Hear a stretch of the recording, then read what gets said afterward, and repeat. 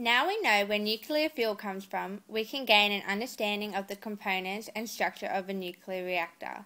The fuel plates are contained within the reactor core. In between the fuel plates within the core is control rods, which are made of boron or cadmium and are neutron deficient, so they attract and absorb neutrons in order to slow and stop the fission chain reaction.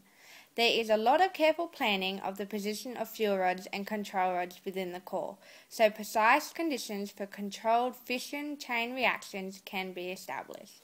The reactor core is located within the reflector vessel. Placed within the reflector vessel are the irradiation facilities containing targets used for fission and neutron activation. There are two types of targets in a nuclear reactor for generating radiopharmaceuticals.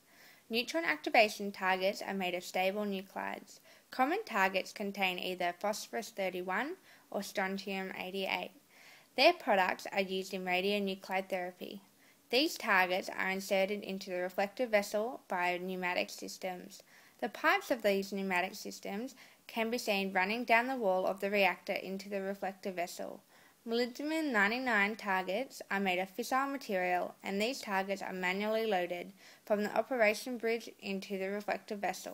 Moderators are also contained within the reflector vessel. Moderators such as H2O, D2O, and graphite are used to thermalize neutrons and reflect neutrons back into the core in order to increase the probability of fission reaction.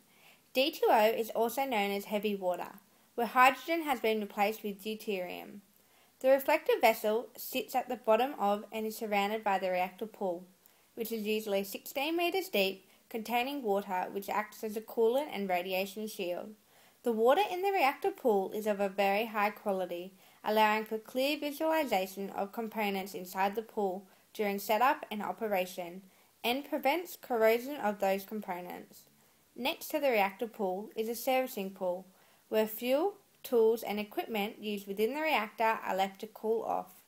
In some reactors, the reactor pool is open so you can see right down through the water to the reflector vessel.